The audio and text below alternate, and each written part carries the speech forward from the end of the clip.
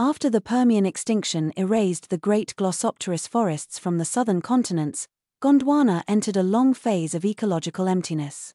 But during the Triassic, a new kind of vegetation began to spread across these barren landscapes, the Dicroidium flora.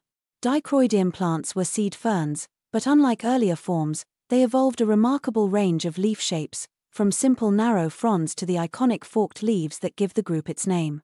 These leaves formed dense thickets along rivers and floodplains, helping to stabilize soil in a world still recovering from global collapse. Their reproductive structures were equally diverse, showing how this group experimented with multiple evolutionary strategies at a time when plant life was reinventing itself. Dicroidium forests dominated Australia, India, Antarctica, South Africa, and South America, becoming the signature flora of southern Pangaea.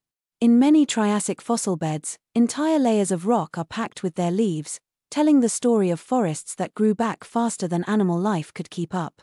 These plants provided habitat, food sources, and the first complex canopies since the end of the Permian.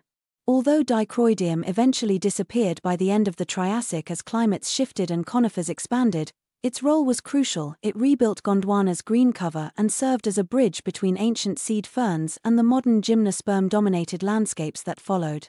Dicroidium represents the resilience and creativity of plant evolution during Earth's long recovery, a reminder that forests can rise again even after near total destruction.